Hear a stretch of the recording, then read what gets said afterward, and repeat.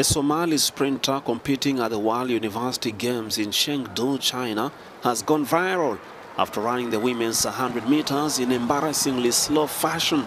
Nasra Ali Abukar ran the distance in 21.81 seconds, some 10 seconds behind the leaders, and was seen to skip across the finish line, having been left well behind by fellow competitors.